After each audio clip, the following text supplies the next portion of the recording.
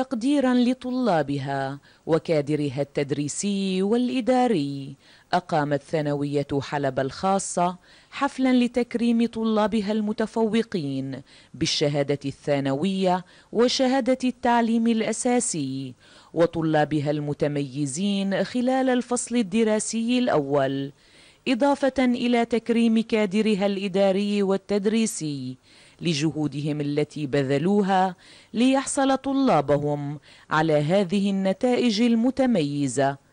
تضمن الاحتفال العديد من الفقرات الفنية ثم قامت إدارة الثانوية بتكريم الطلاب والمدرسين.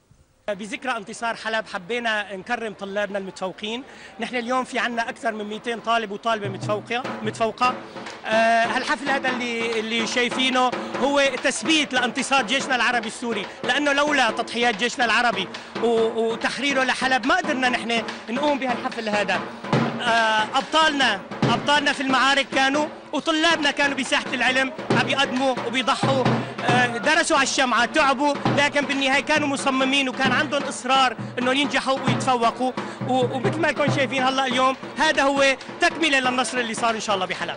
أنا طالبة نور فلاحة آه، بكالوريا علمي 2018 جمعت 240 من 240 طبعا طالب علي بهلوان طالب بكالوريا علمي سنة 2018 طبعا جمعت 239.9 240 كنت المرتبة الرابعة محافظة حلب محمد ألتقي 227 آه، كله هدف فضل الله وسواعد الجيش العربي السوري وشكرا جزيلا لكم.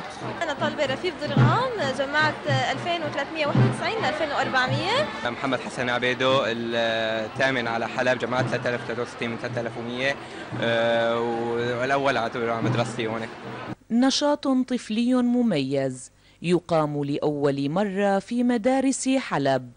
هو يوم للثقافة العلمية والمكتشف الصغير. أقامته وحدة السيدة مريم الخاصة بمشاركة تسعة طلاب من الصفين الخامس والسادس لعرض مشاريعهم العلمية أمام زملائهم بعد أن قامت اللجنة العلمية في المدرسة بانتقائهم من بين باقي الطلاب كون المشاريع التي قدموها كانت الأفضل والأكثر تميزا عن باقي المشاريع وحملت عناوين مهمة أحب الطلاب تعريف رفاقهم عنها بعد أن قاموا بجمع المعلومات عنها من شبكة الإنترنت. كنشأة الكون والنمر المنقرض والميجالودون والديناصورات والاحتباس الحراري والعلاج الفيزيائي واعتلال الأعصاب والروبوت.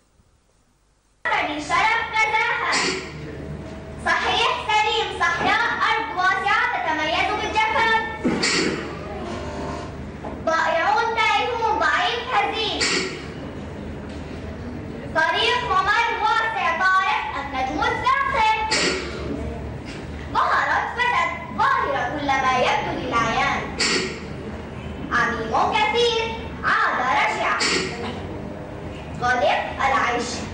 العيش. اتسع غدا. ذهب. وقت الغداة.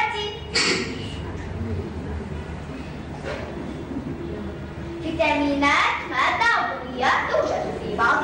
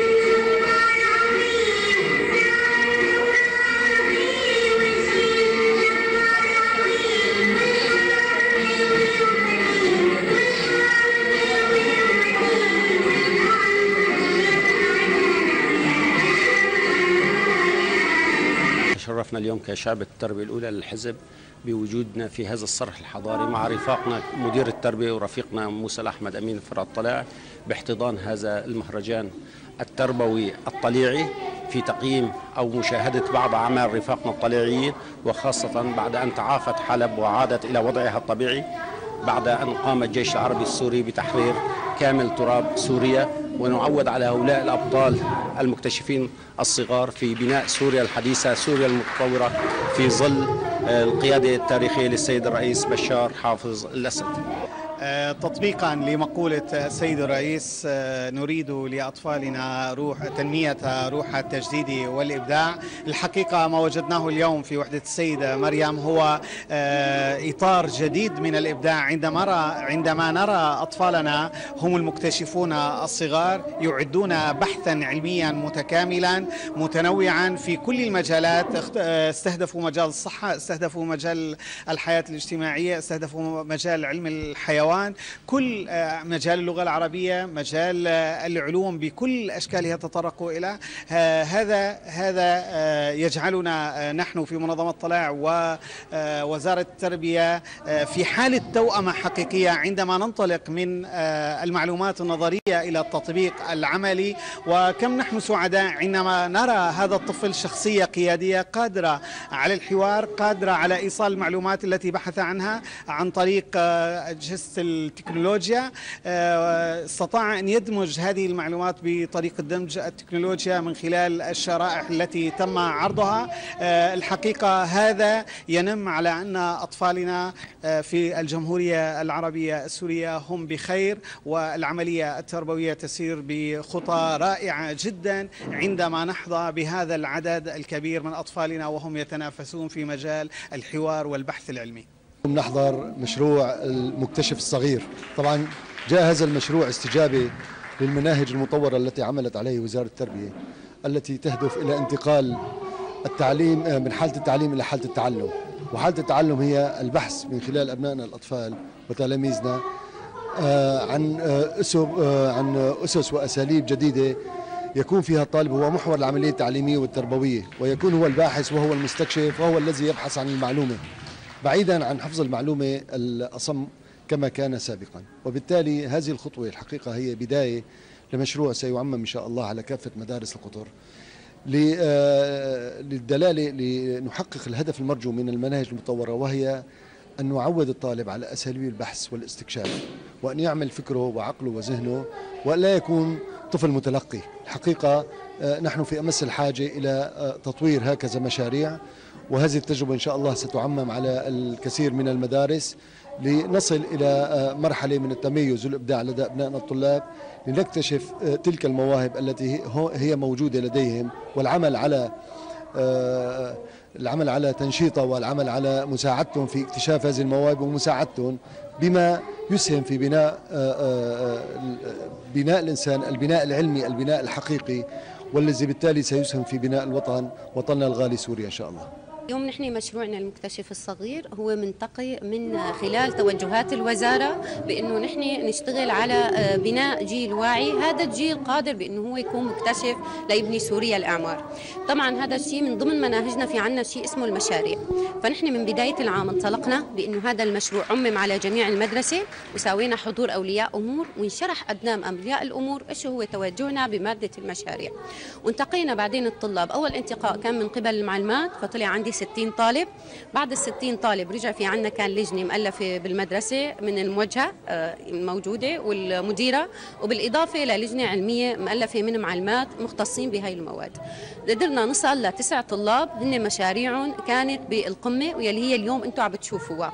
لكن نحن برنامجنا ما رح ينتهي بس باليوم. نحن عندنا أسبوع هو هذا الأسبوع اسمه أسبوع المشاريع. رح ابتداء من بكرة رح ينزل عنا طلاب مثلا الصف الرابع. رح يقدموا مشاريعهم كلياتها بيطلعوا طلاب الصف الرابع بينزلوا طلاب الصف الخامس وبقدموا كمان مشاريعهم بحيث وحتى بحضور أولياء الأمور إذا كانوا بيحبوا بحيث أعطينا لكل طفل فرصة بإنه هو يقدم عن هذا المشروع. وبنتمنى لهم التوفيق وبنوعدكم إن شاء الله بإنه يكون جيلنا هو جيل باني سوريا للأعمار بإذن الله. اليوم المعرض اللي عندنا اسمه معرض المكتشف الصغير. أطفالنا اشتغلوا وتعبوا أثناء العام الدراسي قاموا باختراعات توسع ضمن خطة منهاج وزارة التربية وإشراف منظمة طلائع البعث. حبينا نعرض نتاج عملهم ليشوفوا شو أنتجوا تحفيز للغير. والحمد لله يعني قدمنا لهم شوية تسهيلات وهن الأطفال جدا مبدعين وكان النتاج أكثر من رائع. لنحاول ننهي فترة من الآلام مضت وانتهت. وبداية جديدة لنظهر الطفل السوري قائد مبدع بكل معنى الكلمة. نتعرف عليك. أنا الرفيق الطليعي حسن الموسى كان مشروعي روبوت من علبة كرتون. كان الهدف منه إنه يعمل يستطيع يعمل أعمال معينة ويخدم وطننا الحبيب. رفيقة هون كمان نتعرف عليكي وتحكي لنا عن مشروعك. رفيقة أنا سارة سراج من وحدة السيدة مريم. أنا كان هدف من مشروعي أنه أظهر لحالي رفقاتي كلهم شجعوني مشان أنا يشوفوني كلياتهم. هن كانوا هون قاعدين عم يشوفوني. شو كان عنوان مشروعك؟ اعتلال الأعصاب كمان رفيقة اسمك ومشروعك؟ الرفيقة الطليعية نادرة صباغ من وحدة السيدة مريم. نحن كان مشروعنا عن معجم لغتي العربية. ومشروع جماعي. كلياتنا اتفقنا وكنا صرنا ايد بايد لصار هالمشروع ونجح. هون رفيقة كمان؟ الرفيقة الطليعية ملك صابوني وحدة السيدة مريم. يسعدني ويشرفني إنه أكون عريفة الحفل وإنه امدح من رفقاتي دايما. وهن تعبوا على حالهم طول هالسنة لحتى يعملوا لقاء علمي كتير كبير. ونحن كلياتنا إيد بإيد وإن شاء الله بنرفع اسم الوطن كلياتنا. بعد عرض المشاريع تم تكريم المكتشفين الصغار وافتتاح المعرض العلمي المنوع والتي كانت جميع الأعمال المعروضة فيه من نتاج طلاب المدرسة وقد أبدعوا بتصميمها لتكون وسائل تعليمية يستفاد منها في الدروس. وبعرض فني مميز لطلاب الطفولة الثالثة انتهى اليوم العلمي الثقافي يوم المكتشف الصغير.